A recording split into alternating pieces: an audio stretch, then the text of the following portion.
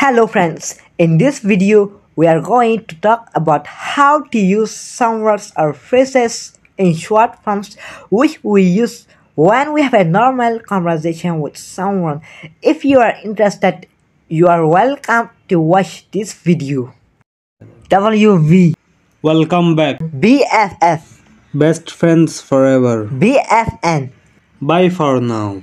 FAQ Frequently asked question. RIP Rest in peace. DIY Do it yourself. FYI For your information. BTW By the way, TBH to be honest, TBC to be continued. TIA Thanks in advance.